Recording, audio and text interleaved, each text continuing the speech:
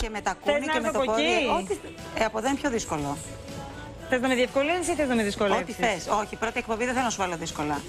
Από πού να το ρίξω, από εδώ, όπως είμαι; Παιδιά.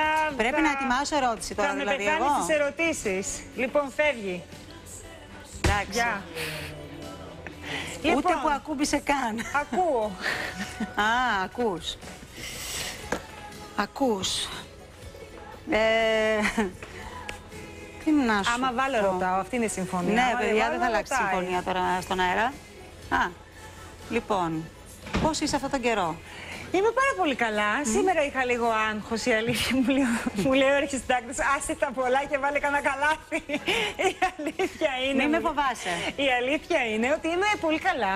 Περνάω πάρα πολύ ωραία. Είχα λίγο άγχος σήμερα το πρωί. Λογικό. Αλλά τώρα έχω ηρεμήσει. Ηρέμησες; Ε, βοηθάει και το ότι έχω και ωραία πρόσωπα Είναι, εδώ. ρε οι παιδί μου, συνεργάτες πρώτη- ναι, όλοι. εντάξει, είναι σαν να βγαίνω κι εγώ στη σκηνή. Ναι. Τα- το πρώτο Έχεις πεντάλεπτο και εσύ είναι. άγχος; Ε, Έχεις το πρώτο κάθε φορά, πεντάλεπτο. Κάθε φορά, ναι. Εντάξει, ρε παιδιά, νομίζω ότι σε όλου συμβαίνει.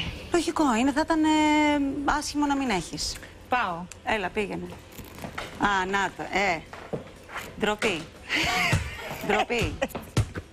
Αυτό. Μία ερώτηση στην Έλλη Κοκκίνου. Ντροπή, Ούτε εγώ την πραγματικά. ξέρω. Αυτό είναι προκλητικά. ε, ε, ε, τι να πω. Δεν θα το σχολιάσω. Έχεις γνωρίσει τους γονείς του συντρόφου σου; Κανονικά πρέπει να ξαναρίξει, γιατί αυτό ήταν καθαρά στημένο. Έτσι. Οκ. Πάμε στα 15 εκατοστάκια να ρίξουμε για να βάλουμε, για να κάνουμε την Ε, ερώτηση. δεν είναι και ο Μπόγρης. Ε, δεν έχει σημασία. Έγινε. Τώρα με την αξία σου. Αυτό, με την αξία σου την κέρδισες. Όχι. Όχι, αλλά η ερώτηση δεύτερη είναι αυτή. Ποιο είναι το μυστικό για να κρατηθεί μια σχέση από απόσταση; Ε, βάλε πάλι. Α, το άλλο δεν πιάνει. Ε, Δεν είναι, ερώτηση ανώδυνη είναι αυτή. Α, έτσι το χωρίζουμε. Ωραία είστε ρε, εδώ. Τι είναι το μυστικό για να κρατήσει μια, Μια σχέση σχέση; από απόσταση.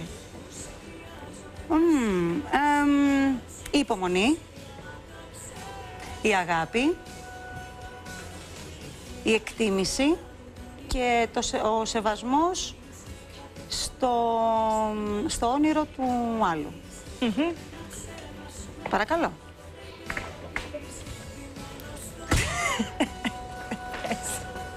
Μην ρίξει ερώτηση τώρα. Όχι, ρίξε εσύ άμα δεν θες; Ή να πάω στο επόμενο; Έλα, άντε. Πάω στο επόμενο; Ε, Ναι, άλλη μία. Πόσες έχει ακόμα; Ε, παιδιά δεν με θέλει.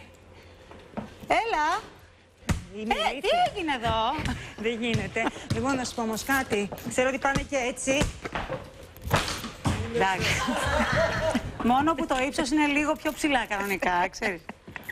Έλα, ρίξ την ερώτηση. Τι χωρίζει εσένα και τον Νίκο Μουρατίδη; Τι μας χωρίζει; Είχε βγει πριν από λίγο καιρό σε μια συνέντευξη που έδωσε ο Νίκος Μουρατίδης στο Εγώ και είχε κάνει μια έτσι κριτική ε, για εσένα.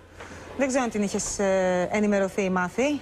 Κάτι είχα διαβάσει, αλλά αν δεν τη δω ίδια, ξέρεις. Μπορώ να έχω αυτολεξή μπορώ τη να- δήλωση ο Μουρατίδης παρακαλώ; Αλλά κιόλας. Α, θέλετε να μου πείτε αυτολεξή για να το μεταφέρω στην, ε, Δεν στην πέ- Έλλη. Ξέρεις τι; Η Έλλη Κοκκίνου δεν μου αρέσει Σεβαστό. γιατί δεν βρίσκω λόγο ύπαρξή της στο ελληνικό τραγούδι. Μουρατίδης είναι αυτός, τα λέει αυτά. Καλά, αυτό δεν δίνει ελαφρυντικό σε κάποιον. Αλλά είναι σεβαστή η άποψή του. Δεν είναι υποχρεωμένος όλος ο κόσμος να πει ότι... μ, να του αρέσω μάλλον.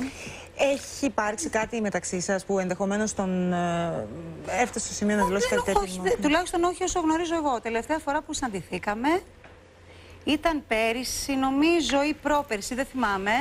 Όχι, επί Greek Idol εποχής. Εμ, στο πλατό του Κωστόπουλου, στην εκπομπή που έκανε τη βραδινή.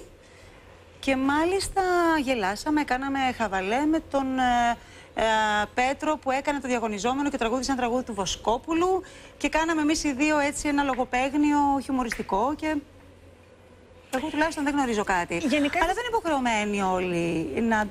Ούτε εμένα μου αρέσουν όλοι. Και είναι, το θεωρώ λογικό και φυσικό να μην αρέσω σε όλους. Έχεις διαβάσει ποτέ έτσι κάποια κριτική που να σε έχει απασχολήσει και να σε έχει στεναχωρήσει πολύ, να σε έχει πληγώσει; Και γενικώς πώς αντιδράσει το θέμα της κριτικής; Ε, Με έχουν πληγώσει πάρα πολλά πράγματα. Αλλά αν ο άλλος πιστεύει ότι με το να γράφει ή να λέει κακοήθειες χωρίς να ξέρει την προσωπικότητα του άλλου και τι περνάει, τι ζει, τι βιώματα έχει, τι σπουδές έχει, τι εμπειρίες έχει γενικότερα και στην προσωπική του ζωή και στην επαγγελματική του εμ, θέλει να κρίνει έτσι μόνο και μόνο για να κρίνει, οκ. Αν έτσι βγάζει τα χρήματά του ο καθένας, οκ, και αυτό μες στο παιχνίδι είναι. Αλλά δεν μπορεί να ζητάει βαρύτητα στο λόγο του, όταν δεν γνωρίζει τον άλλον έτσι. Και απλά κρίνει από μία εικόνα. Όταν όμως. Δεν μιλάω για το Μουρατή, τώρα μιλάμε γενικά έτσι. Δεν έχω τίποτα με τον άνθρωπο και σέβομαι τη γνώμη του. Ε, εντάξει, τι να κάνω. Δεν θα κοιμηθώ με αυτό τώρα να δω εφιάλτες. Τι να κάνω. Ζω με αυτό και ε, ακούω και ε, μ, κρατάω τα καλά. Όχι τα καλά για να μου χαϊδεύουν τα αυτιά. Ακούω και τα αρνητικά, τα δέχομαι. Αλλά να έχουν βαρύτητα και άποψη. Μμμ. Θέλω να προχωρήσουμε έτσι και σε κάποιες άλλες ερωτήσεις. Μάλιστα. Που θα τις ακούσουμε χωρίς ε, καλάθι, ούτως ή άλλως δεν είναι. Είναι πιο ουσιαστικές και πιο απαλές. Εντάξει, παιδιά, θα κάνω κι εγώ όμως. Βεβαίως, ό,τι θες. Α, Ό,τι θες πραγματικά. Ό,τι α, θες. Ποια ήταν η στιγμή που φοβήθηκες περισσότερο για τη ζωή σου; Άντε να δοκιμάσω μήπως και το βάλω. Έλα, εντάξει, Έλα, δικαιωματικά. πάει τώρα. Ποια ήταν η φοβερή. Α, ε, το 2001 είχα πάθει πνευμονία, εμ, λίμωξη ερνευστικού και πνευμοθώρακα μαζί συγχρόνως και είμαι ένας άνθρωπος που έχω άσθημα από τριών χρονών, αλλεργικό. Ε, αυτό λοιπόν βρέθηκε, χτύπησε λοιπόν εμ, άρρωστους πνεύμονες εμ, και ταλαιπωρημένη από τη δουλειά και κουρασμένη πάρα πολύ. Ε, με πε- πολύ πεσμένο το νοσοποιητικό μου γι' αυτό και όλας όλα μαζί, με τη μία. Και εμ, θυμάμαι ότι ήμουν στο κρεβάτι που με κατεβάζανε από το δωμάτιο του νοσοκομείου γιατί μπήκα σπεσμένα. Εμ, με κατεβάζανε συντατική και στην ερώτηση της μητέρας μου στο γιατρό τι γίνεται, ε, ο γιατρός απάντησε ότι δεν ξέρω τι θα γίνει.